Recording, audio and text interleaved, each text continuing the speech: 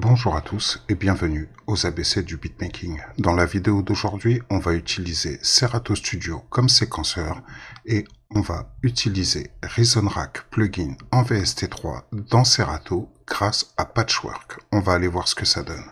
Donc pour le tuto, j'ai créé un petit morceau dans lequel j'ai utilisé trois samples qui viennent d'un pack de chez Loopmaster, donc de la firme euh, c'est un pack orienté DJ premier avec d'excellentes boucles.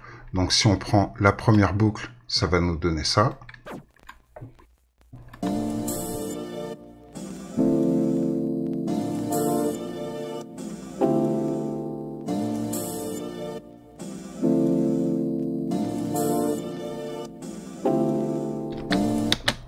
Voilà.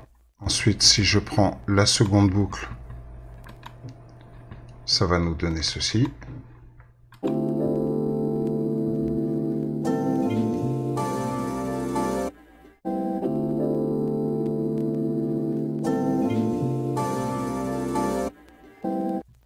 Et si je prends la troisième boucle, ça va donner quelque chose comme ceci.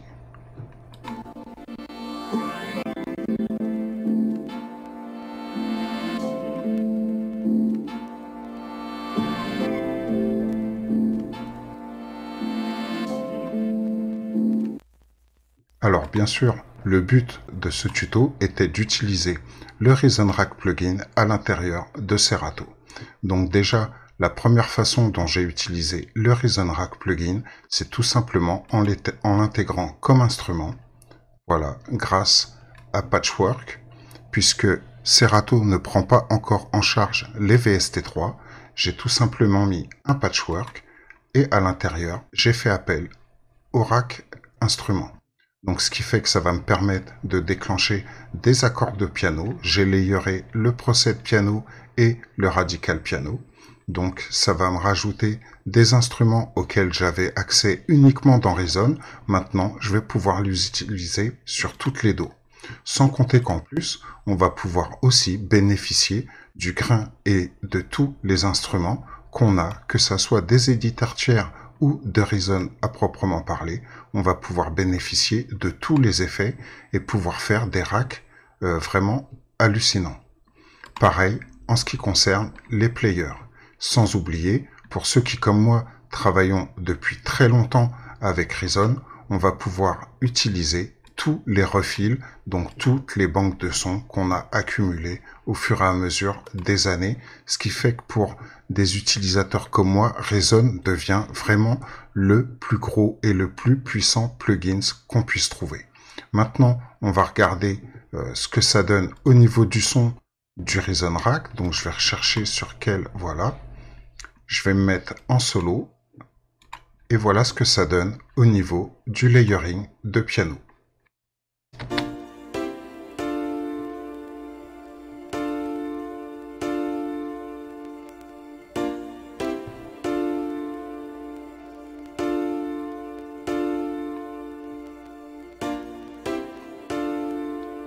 Donc ça nous sort vraiment de très beaux sons de piano. Après, j'ai aussi utilisé le rack en tant qu'effet sur un des samples. Voilà, c'est celui-ci. Je vais me remettre en solo.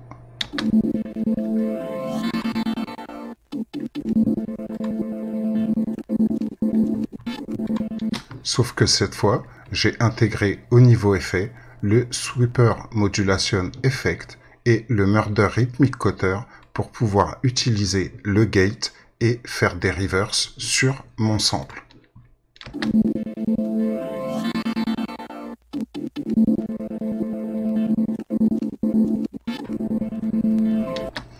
Ensuite, si on continue, quand on va prendre la partie master du morceau, j'en ai profité tout simplement pour faire un rack de mastering.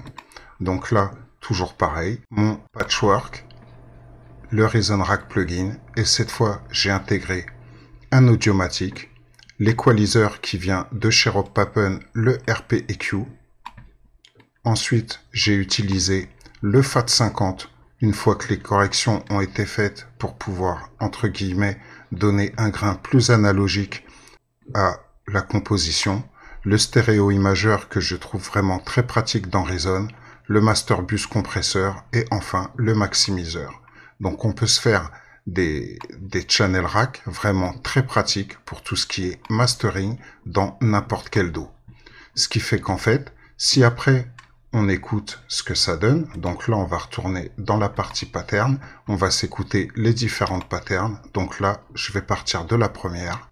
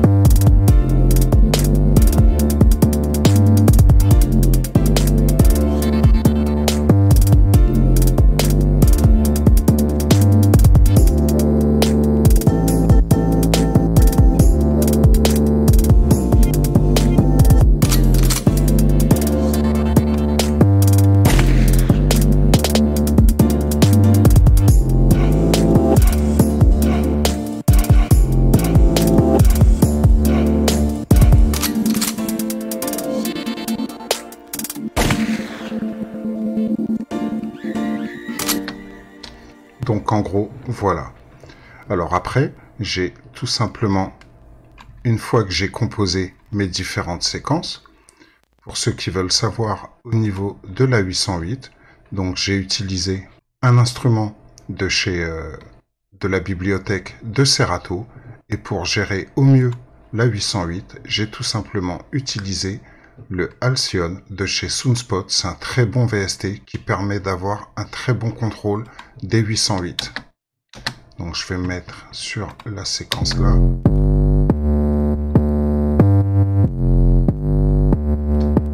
Parce qu'en fait, ce qui se passe avec la bague ici, on peut gérer tout ce qui est mid et side. Donc soit mettre la, la 808 en mono, soit la mettre en stéréo. Ici, on a le bouton qui va rajouter le drive, enfin la saturation sur le son. Et grâce aux deux locators qu'on a ici, quand on a le spectre, on va pouvoir rajouter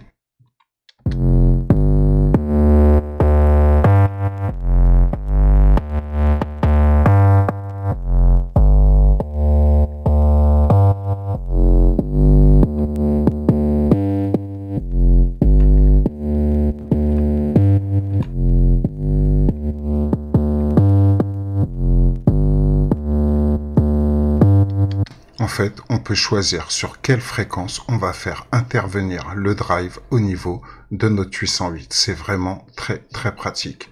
Donc après, j'ai utilisé une piste avec un sample effect qui va donner ça.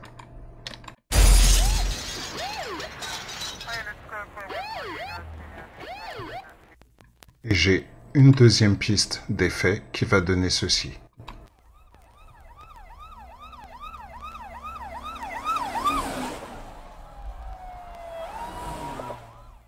Et si on écoute tout l'ensemble, ça donne ça.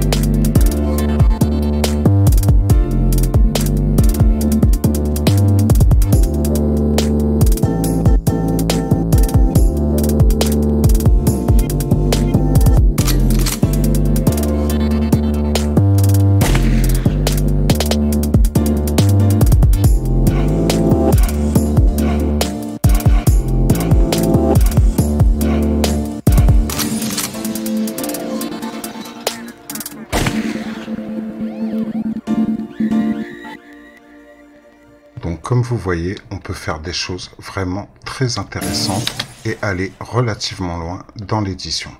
Donc, grâce à Patchwork, ça me permet d'utiliser les sonorités et les effets de Reason un peu partout et ça me rajoute du cachet. Grâce à l'audiomatique, bah, on a la possibilité d'avoir le bruit du vinyle, sans compter